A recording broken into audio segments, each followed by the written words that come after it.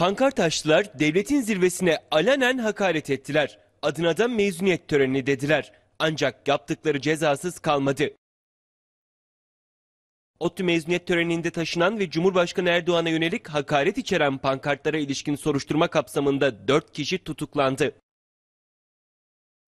Sözde mezuniyet töreninde açılan çirkin pankartlar sonrası tepkiler çığ gibi büyümüş, Ankara Cumhuriyet Başsavcılığı soruşturma başlatmıştı. Polis mezuniyet törenini ve konserin kayıtlarını titizlikle inceledi. İncelemeler neticesinde Cumhurbaşkanı'na hakaret içeren pankartları taşıdığı belirlenen 5 şüpheli gözaltına alındı.